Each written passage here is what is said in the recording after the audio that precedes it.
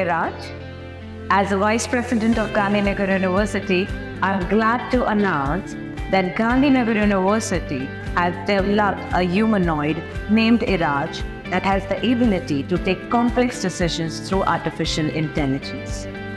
You all know that Gandhinagar University has always been pioneer in implementing technology as well as for exposing students to latest development.